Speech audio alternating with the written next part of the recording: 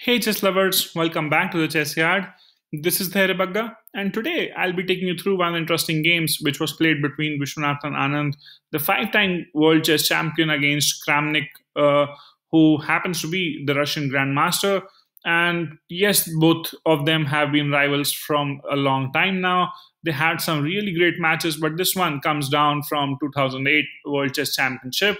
And why are we doing this today? Because we are celebrating India's first Grandmaster, Viswanathan Anand's birthday week. Uh, it, the birthday happens to be on 11 December.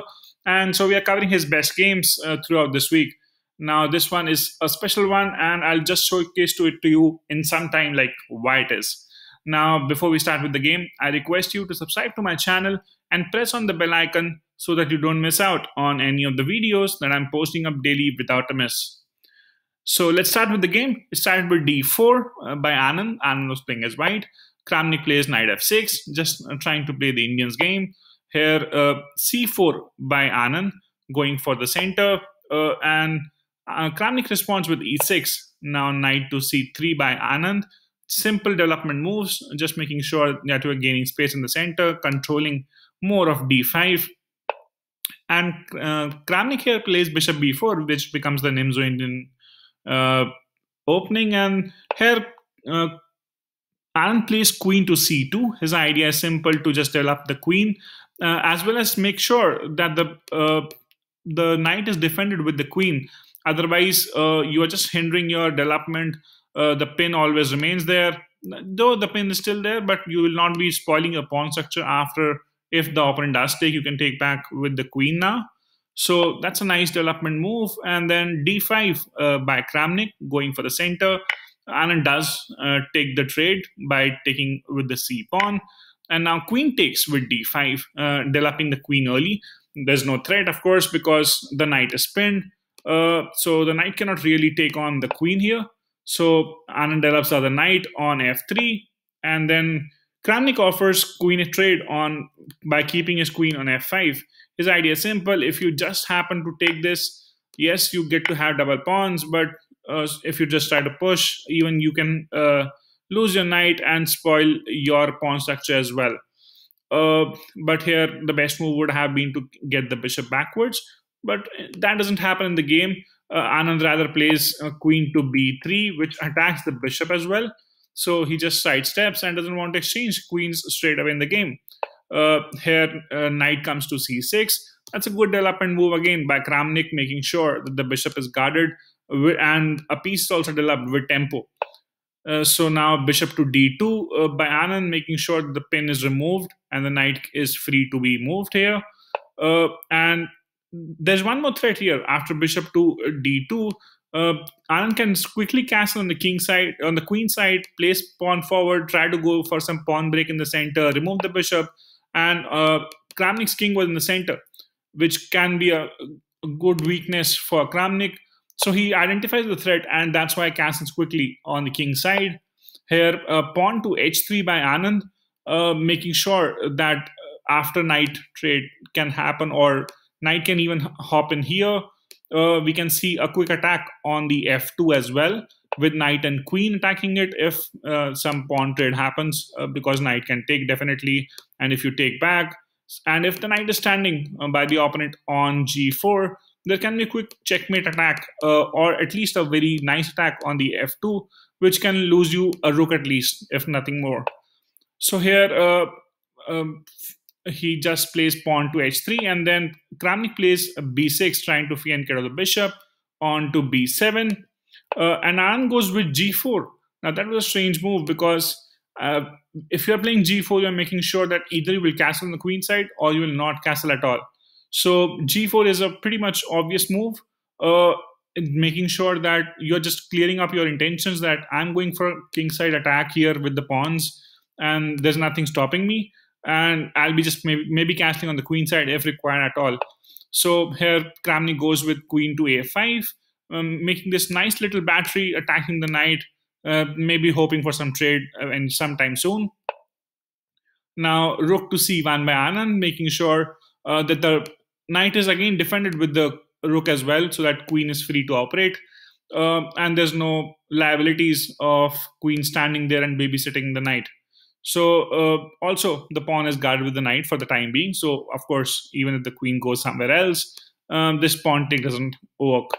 Uh, here, bishop to b7 by Kramnik, and Anand plays a3 finally, just making sure that the bishop either has to take or go back. Going back would be passive, so yeah, the best move is to take, and that's what Kramnik does. And Anand takes back with the bishop, and now if you see this structure is pretty much nice uh, for Anand uh, pawns and bishop controlling the center of this pawn chain. So it's always nice to have a structure like this. And now again, uh, Kramnik offers him queen exchange, but this time uh, the difference was Anand takes it. Now it's important to take queens on your terms, like Kramnik had offered this earlier as well, which at that point of time Anand doesn't take it. Now why did he take it this time? Because he has got center pawns and uh, now uh, there's no center pawn and again anand has a bishop pair uh, instead of uh, kramnik having a knight pair so bishop pair will be always uh, very helpful uh, in the open structure. And this is an open structure. It's not a closed position where knight will be more effective. So that's why anand is in slight advantage. That's what he sees. And it's that's why it's 0.4 in the evaluation as well. So Anand identifies that it's a nice situation to be in to have to be having a bishop pair rather than having a knight pair. So that's why it goes for the exchange this time. And now knight takes on d5, making sure that bishop uh, is being attacked. And since that's the only advantage you have, which is the bishop pair, you want to keep your bishops on the board. So bishop to d2, not letting um, Kramnik go for the exchange. And now knight goes back on f6, and now rook to g1, making sure that the rook is out of harm's way once the knight is moved because this bishop is always eyeing the rook. So rook to g1 and now bishop on g2 by uh, Anand because uh, rook was played on c8.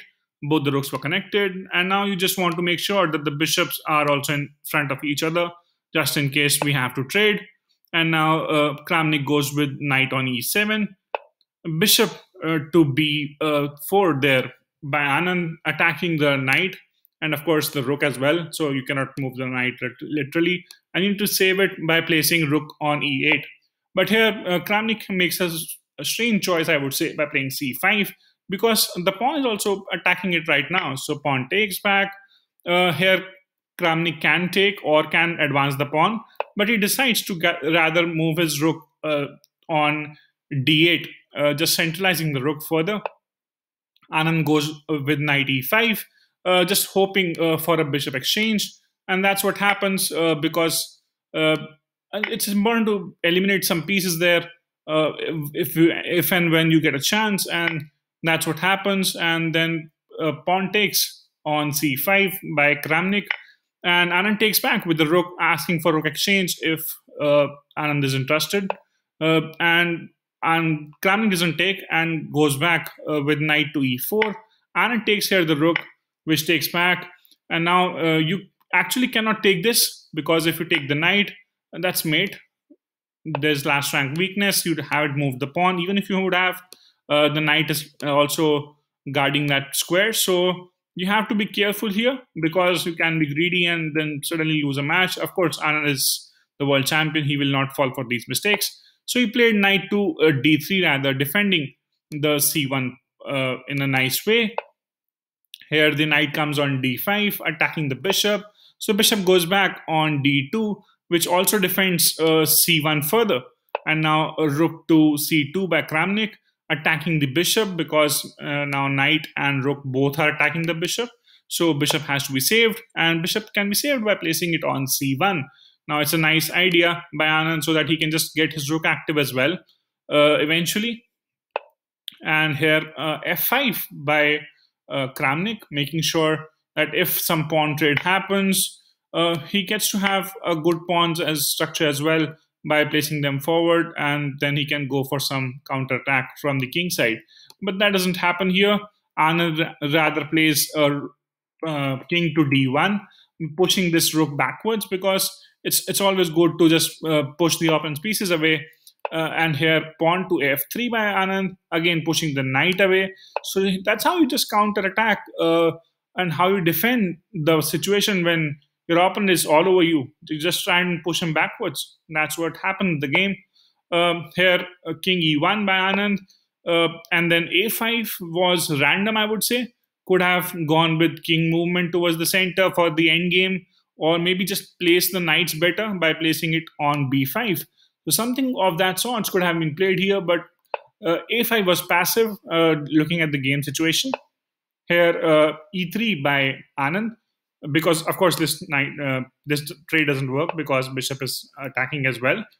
And here uh, e5 by kramnik and now anand takes uh, because uh, if now uh, kramnik decides to take the pawn uh, this pawn forward would be very aggressive attacking both the knights. And probably one of them will suffer eventually because even if you move the knight to h4 rook attacks you, yes you get to take a pawn but then king comes up and then you're just running away.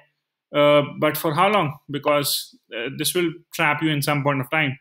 Uh, rook even if what's the best move here? Rook comes down on c2 king goes up or down either is fine. Exchange doesn't help. Yes you can give a check.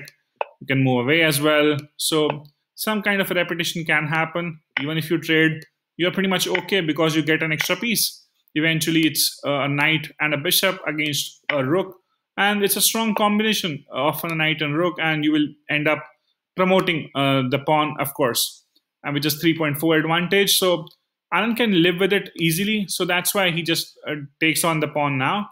And it, so Kramnik might have calculated that and played e4 rather. Now Anand takes back, uh, and Kramnik takes with the knight and now bishop to d2 just improvising the position of the bishop uh, also making sure that bishop is attacking the pawn here. Uh, and now a4 by kramnik again passive. These two moves are passive actually.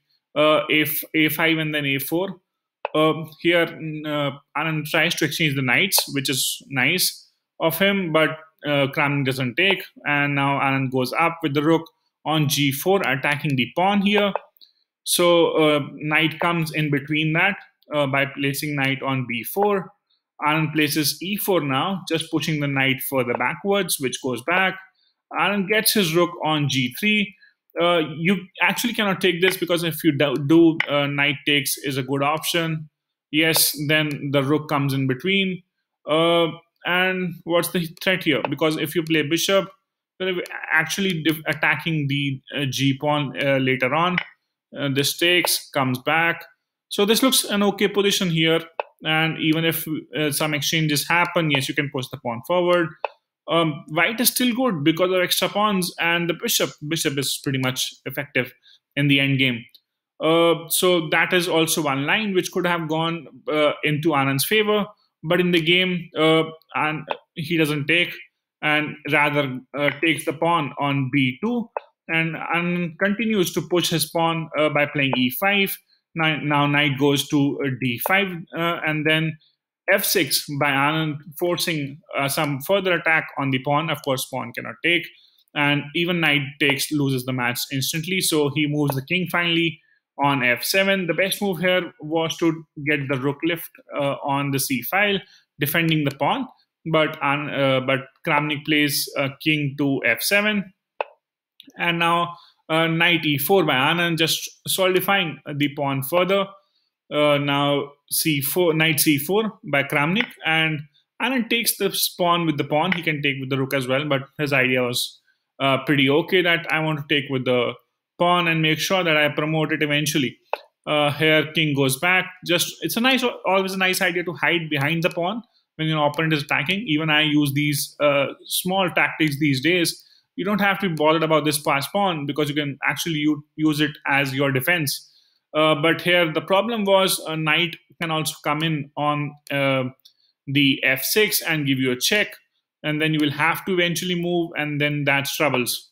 Uh, so Anand first goes with rook to d3, attacking the knight, uh, which goes back on d6, and now bishop on h6, defending the pawn, so that the pawn is always stable there. Uh, and now knight takes on e5, uh, and now finally a check with on f6, knight on f6. Uh, king comes up, and Anand now offers him rook. And if it looks strange to you, it doesn't, because if rook does take, queen comes on the board straight away, and there's nothing bothering you there. And king can take the knight, but then after some check series, you'll end up uh, gaining some serious advantage. Uh, maybe take a piece as well comfortably, and that would be completely okay because here also you can take. And if uh, the opponent tries to just take it here, it's a diagonal check, which loses the rook as well for the opponent. And it's queen versus knight, and this is a no brainer that who is winning this. So that was pretty much comfortable uh, for Anand there. Uh, so Kramnik resigns after uh, the knight. He takes the knight. Uh, Kramnik resigns. And yeah, this was from uh, 2008, the World Chess Championship, round six and Anand tried and he won the uh, match there and the tournament too. I hope you like the video. Do let me know your feedback. Keep watching and sharing. Do subscribe to the channel if you haven't already by now. Do give a thumbs up to the video as well. Been putting on uh, some lot of hard work there uh, behind these videos. So I hope this turns out to be good. Thank you so much for your time. Take care. Bye bye.